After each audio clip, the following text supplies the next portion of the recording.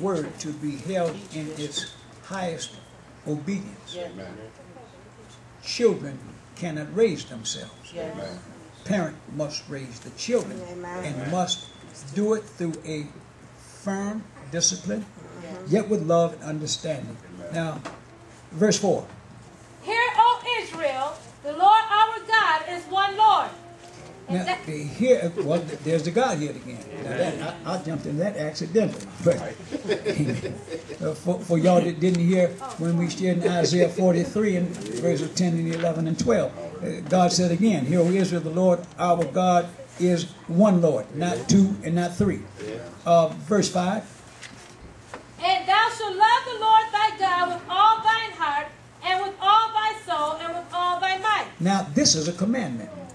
Now, I want you to fully understand what God's saying. You should love the Lord thy God with all your heart. Now, heart means the inner being. This love, again, is not a physical type of love. Amen. This love is based on a respect through belief and through fear. Yes. God wants you to love Him because He is God. Yes. So I believe in God and I love Him or I reverence Him or I respect Him. Therefore, I'm going to obey Him. Watch now, read. And these words which I command thee this day shall be in thine heart. Now, you got to, He said command, did He? Hallelujah. It's not optional. Yes. Now, this is a commandment. You got to love Him. Amen. Now, I said this love, and now, oh, oh, I just love the Lord. Now, wait a minute. God is not, He's not unwise. Amen. He knows that you can't physically love Him. Amen.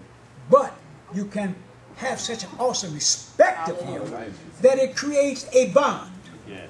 And that bond is what brings you to church time after time after time. Amen. Pay your tithes time after Yes. time after time because of this bond of respect or a type of agape love that one has to have in that connection, spiritual connection with God that transcends into a natural Yes. connection or a physical connection. Yes. I have so many bills. But God say, pay your tithes and trust me. Yes. Amen. Well, Lord, I'm snapping out on faith. And you pay your tithes. Amen. Now, this don't mean to say because you pay your tithes, you ain't going to get your lights cut off. Amen. Don't fool yourself. Praise. You might get your lights cut off. Amen. But don't you know God knows that? Oh, glory. Hallelujah. And I'm not going to complain Yes. because I did pay my tithes. Amen. Importantly, because I'm proving to God I, I'm nothing, but you everything. Yeah. And if you see fit that my lights get cut off, praise the Lord. Glory. Yeah. It must be a reason. Hallelujah. Amen. The reason is I want you to come up to a higher height, Yes. a deeper faith in Him. This is how we were able to get this church here Yes. through a faith when everything looked like it was closed. But when God opened up doors, and when the door was closed, oh hallelujah. And God said, Well, I'm gonna open up a door anyhow. Yes. I don't care what the stock market say. Yes. I don't care what the housing industry is. Yeah. I'm gonna open up a door. And I mean he blow the door Yeah. yeah. I mean blow the door open. Hallelujah. Praise God. God is a wonder. Yes. If you trust in Him, Yes. stand by faith. These teachings are critically important, and I'm going in this direction here because uh, I want you to fully understand, parents, the importance of bringing up God's children. Yes. They are not yours. Yes. Hallelujah. All children belong to God. Well, all souls belong to God, but children are held in a special way, and you've got to bring them up to the Lord. All right, read.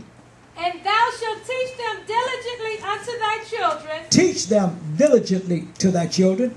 and shalt talk of them when thou sittest in thine house, and when thou walkest by the way, and when thou liest down, and when thou risest Can y'all up. see what God is saying? Yes, Yeah. In other words, God's saying all the time. Yes. Yes. In the daytime. Yes. In the evening before they get to bed. When they get up in the morning, you still got to teach Yes, this Lord. into them. You got to pound it into them. You can't be in such a rush that you can't sit down. And I'm going to say to our school, now we're going to set aside at least from 15 to a half hour every day to go take the children into scripture. Amen. And y'all, y'all, y'all, y'all choose the scripture that you want. But do it. Take a scripture and dissect it and put it into these children's head. Amen. Day after day, after day, after day, after day, after day. And we're going to get a little bit more of this word into them. And we're going to get it so deep into them when they get in high school. you. I don't care how they're going to clip off and take their head come and put it in their pocket Come on, teach Bishop. Mhm. and get over and try to hip hop with the rest of the girls. Thank you, Sooner or later, everything that's been pounded into them, there'll be such a conviction Yeah. when they they'll be, they'll be ashamed to come into the house. That's right. That's right, Bishop. Hallelujah. But God is a merciful God. Let's put this into them. And I say to the young children, we're not teaching you something that's wrong. That's right. We're teaching you something that's right. You can't see it now. But when you grow up and you have children, you are obligated to teach your children the very same thing. Thou shalt teach them carefully. Verse 7. Thou shalt teach them diligently unto thy children, and shalt talk of them when thou sittest in thine Talk house. of them. Amen. Now, If y'all go in the room now and read that scripture I told you Yes. to. No, it says, You shall talk of them. Amen. Uh huh. When thou sittest in thine house, and when thou walkest by the way, and when thou liest down, and when thou risest up. Yes. And thou shalt bind them for a sign upon thy hand, and they shall be as frontlets between thine eyes. If you keep putting it into them, when they wake up, it'll be in their head. When they go to bed, it'll be in their head. When they go to school, it'll be in their head. Hallelujah. Hallelujah. It'll be in front of them. Everywhere they go. Not physically in front of them, but spiritually, mentally, it's going to be in them. We have to understand the very danger of this wickedness that's on these internets. Yes. All right. Now, uh, soldier boy, soldier girl, whoever it is, y'all leave that mess alone. I'm telling you what's right in the sight of the Lord. And I know after this, you're going to leave it alone because if you go to it, the Lord's going to spring this Bible class Amen. back into you. And, and you're not going to be comfortable when you go to bed at night.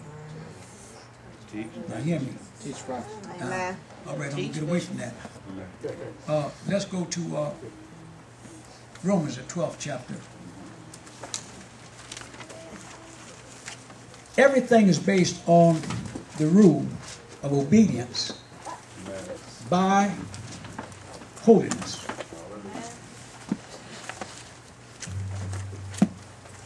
We're talking about church by salvation.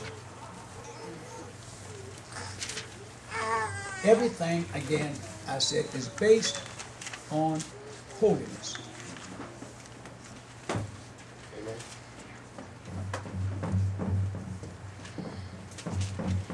Church.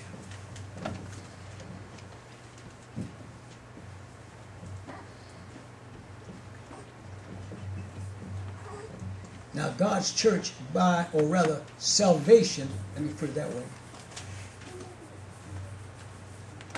and God's church.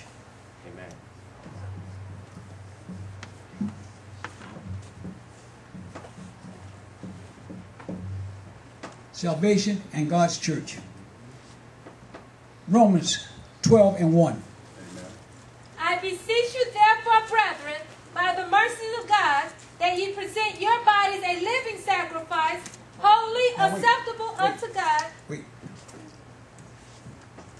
Sacrifice.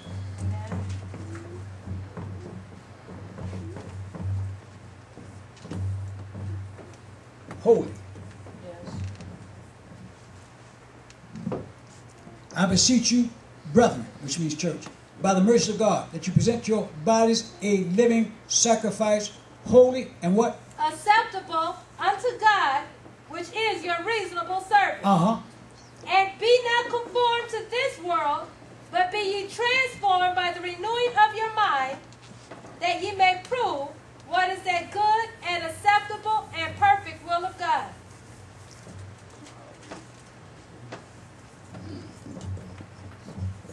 Sanctified,